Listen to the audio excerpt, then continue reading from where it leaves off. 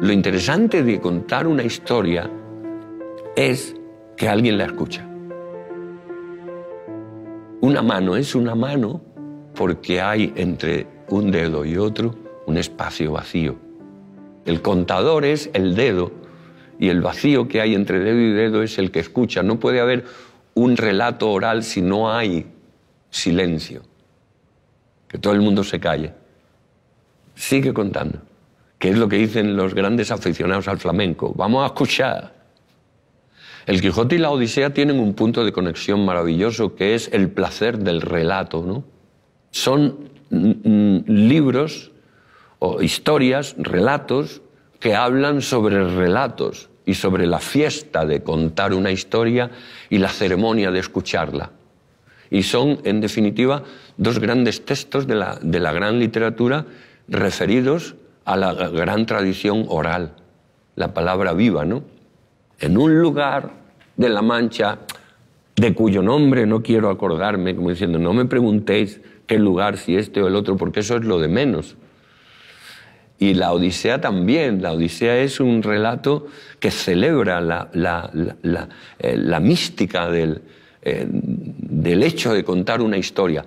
Hay un momento de la Odisea maravilloso, que es cuando Ulises llega al país de los feacios y entonces Ulises que viene de todas esas aventuras que está pasando en el mar y tal, eh, cuenta su historia. Y los feacios le escuchan.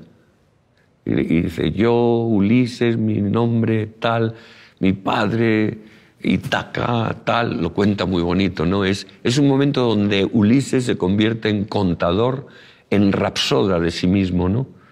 Y lo más bonito de esa historia es que Ulises está dimensionando su propia historia de una manera hiperbólica, con unas exageraciones, y, ya él se emborracha del acto de contar y se inventa a Ulises. Esa es la grandeza de los clásicos. Son un grandísimo tesoro vergonzosamente desconocido. ¿no? La cultura es un instrumento para la evolución de nuestra mente y para desarrollar los valores que nos acercan a los demás, pero yo, según lo entiendo, más todavía para desarrollar aquello que nos acerca a nosotros mismos. Con los años y con lo que he estudiado y con lo que he viajado y con lo que he vivido, pienso que el tesoro está en el interior. Este es el, papel eh, sagrado de la cultura, ¿no? el poner al hombre en contacto con su potencial, despertar en nosotros esa autoestima profunda, ¿no? que te haga pensar que tú eres un ser valioso ¿no? y que puedes realmente enfocar la vida y tus relaciones con los demás desde los valores de la solidaridad, la generosidad, la superación.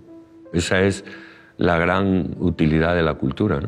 y finalmente conectarte contigo mismo y con el misterio del universo.